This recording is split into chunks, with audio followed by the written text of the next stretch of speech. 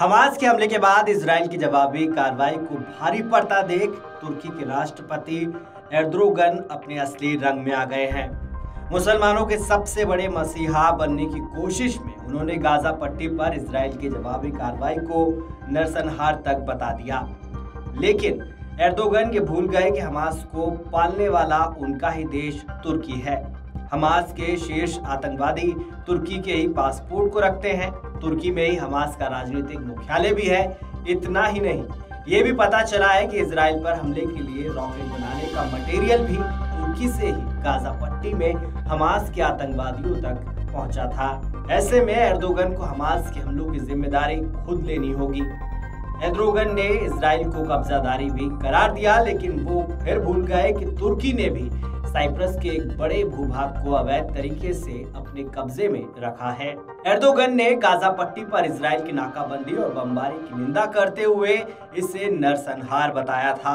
बुधवार को तुर्की की संसद में सत्तारूढ़ एक ही पार्टी के सदस्यों से बात करते हुए एर्दोगन ने कहा कि युद्ध में भी नैतिकता होती है, लेकिन हफ़्ते के अंत में भड़की हिंसा ने बहुत गंभीर तरीके से इसका उल्लंघन किया है। उन्होंने कहा कि लोगों को उनकी सबसे बुनियादी जरूरतों को पूरा करने से रोकना और उनके घरों पर बमबारी करना जहाँ वो रहते हैं, उनके घरों की बिजली और पानी सप्लाई को काट देना, हर तरह के शर्मनाक तरीके का उपयोग करके संघर्ष करना एक युद्ध नहीं है, ये एक नरसंहार है। एद्रोगन ने आगे कहा कि हम खुले तौर पर इजरायली क्षेत्रों में नागरिकों की हत्या का विरोध करते हैं। इसी तरह हम गाजा में अंधाधुंध, लगातार बमबारी में निर्दोष नागरिकों के नरसंहार को कभी स्वीकार नहीं कर सकते। तुर्की के लिए साइप्रस एक ऐसा मुद्दा है जिसे छेड़ने पर वो हर बार बिलबिलाने लगता है। पिछले साल एद्रोगन ने संयुक्त राष्ट्र में जब कश्मीर का मुद्दा उठाया था, तब भारतीय विदेश मंत्री ने बिना किसी देरी के साइप्रस का ज़िक्र कर दिया। जयशंकर ने दो टूक कहा था कि तुर्की संयुक्त राष्ट्र के प्रस्ताव के हिसाब से साइप्रस मुद्दे का शांतिपूर्ण हल निकाले। आखिर क्या है साइप्रस मुद्दा और क्यों है तुर्की की ये कमज़ोर नस आइए समझते हैं। तुर्की और साइप्रस विवाद बहुत पुराना है।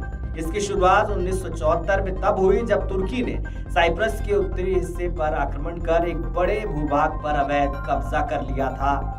उस वक्त साइप्रस में सैन्य विद्रोह हुआ था, जिसे ग्रीस का समर्थन प्राप्त था। इस विद्रोह में तुर्की को एक और मौका नज़र आया और उसने ग्रीस को मज़ा चखाने के लिए साइप्रस पर आक्रमण किया और एक बड़े भूभाग पर कब्जा कर लिया।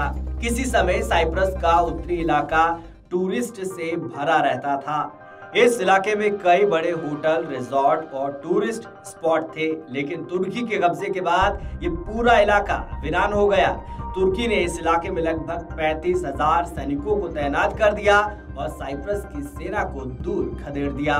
साइप्रस पर तुर्की के हमले के कारण लगभग एक लाख साठ हज़ार लोगों को अपना घर छोड़कर शरण के लिए दूसरे देशों में जाना पड़ा। हालाँकि उस वक्त लगभग बीस हज़ार साइप्रस के लोगों ने अपने घरों को छोड़ने से इनकार कर दिया। इसके बाद तुर्की की सेना ने इन लोगों के खिलाफ इतने अत्याचार किए कि इन्हें भी अपना घर छोड़कर दूसरे मुल्कों में शरण लेने के लिए मजबूर होना पड़ा। Video desk Amar Ujala dot com. Amar Ujala, अब आपके टीवी पर भी। अपने स्मार्ट टीवी पर यूट्यूब पर सर्च करें अमर उजाला। चैनल सब्सक्राइब करें और देखें ताज़ा खबरें। वो भी एचडी क्वालिटी में। और हाँ बेल आइकन दबाना ना भूलें, ताकि हर खबर हो आपके घर। अमर उजाला, निष्पक्ष निर्भी निरंतर।